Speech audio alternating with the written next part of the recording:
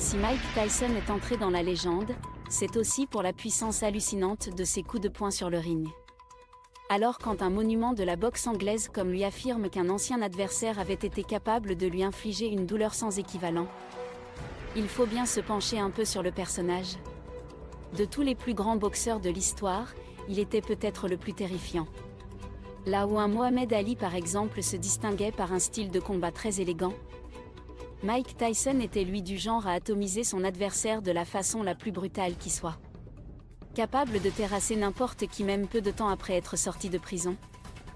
L'ancien champion du monde des poids lourds était une vraie bête sauvage.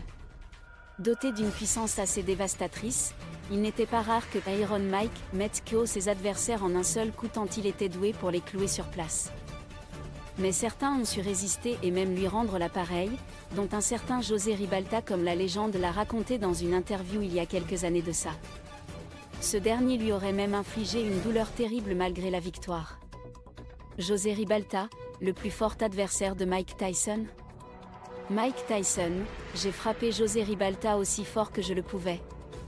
Et il a tout encaissé et en a même redemandé. Ribalta m'a tenu tête. Il était très fort au clinch. Ribalta était un le genre de combattant qui m'a réellement mis au défi.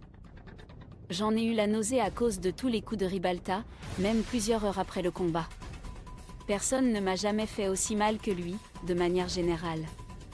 Pour ceux qui ne le connaissent pas, José Manuel Ribalta est un ancien combattant cubain qui totalise 56 combats en carrière pour 38 victoires, dont 27 par KO. Parmi ses adversaires les plus illustres, on compte notamment des affrontements perdus contre Larry Holmes ou encore Vitaly Klitschko. Mais c'est bien son combat contre Kid Dynamite qui reste le plus mémorable de tous, en partie aussi grâce à lui.